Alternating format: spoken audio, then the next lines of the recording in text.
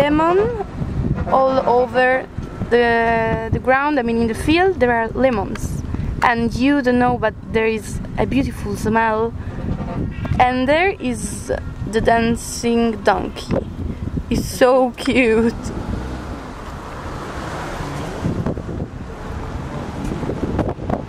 You see all, all the yellow stuff? All the yellow stuff is lemon.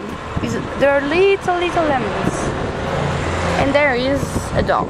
I mean guys this place is beautiful because you are just outside Cairo. I mean it's not far away, just uh, not so many kilometers but uh, it's uh, something very different. The air is so fresh.